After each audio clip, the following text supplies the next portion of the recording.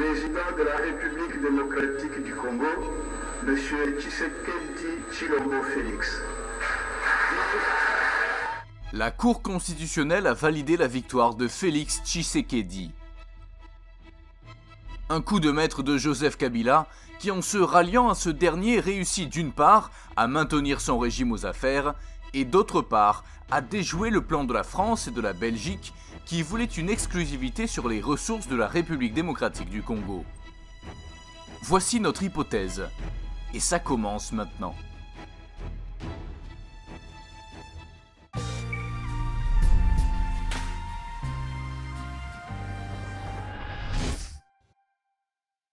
Si c'est la première fois que vous venez sur ma chaîne, abonnez-vous et n'oubliez pas de cliquer sur la clochette pour les notifications.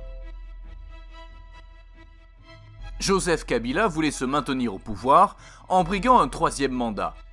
Mais manque de peau pour lui, la constitution de la RDC ne le permet pas. Alors il va tenter de la modifier sans succès. Mais arrive quand même à rester un an de plus au pouvoir après l'expiration de son dernier mandat.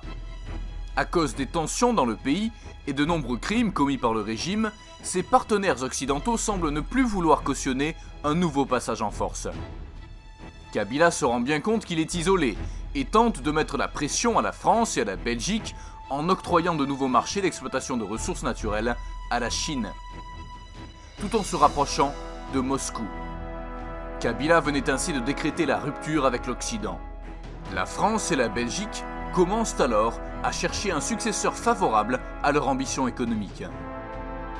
Ne pouvant plus se représenter, Kabila choisit alors son dauphin, Emmanuel Ramazani Chadari, ministre de l'Intérieur de la RDC. De l'autre côté, dans l'opposition, Martin Fayoulou est choisi comme candidat unique de l'opposition à Bruxelles. Les pays occidentaux voient à travers cet acte une aubaine pour recontrôler les ressources naturelles du Congo. Tous misent alors sur lui. Félix Tshisekedi, de retour en RDC, renonce à la coalition de l'opposition pour une candidature unique et se présente candidat à l'élection présidentielle. Cet événement ne compromet en rien la popularité de Martin Fayoulou, qui reste largement le favori pour l'élection de décembre 2018. À ce moment, le régime Kabila doit agir vite pour ne pas perdre la main. Félix Tshisekedi est approché pour lui offrir le poste de président de la République tout en acceptant la cohabitation avec le régime en place, qui va mettre sa machine en marche pour être majoritaire à l'Assemblée nationale. Un accord est signé et à partir de cet instant, les mécanismes qui ont permis à Kabila de se maintenir au pouvoir vont contre toute attente propulser Félix Tshisekedi à la tête du pays, avec la proclamation des résultats provisoires de la CENI. Pour un régime qui a cherché par tous les moyens à conserver le pouvoir, certains observateurs politiques ne comprennent pas pourquoi l'élection de Félix Tshisekedi semble ne pas déranger le régime Kabila. Il est évident que tout a été bien ficelé.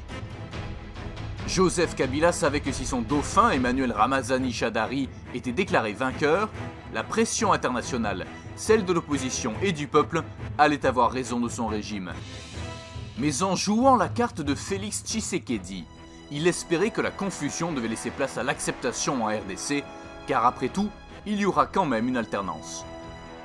En confirmant les résultats de la CENI, la Cour constitutionnelle vient définitivement de demander aux puissances occidentales de s'occuper de leurs affaires.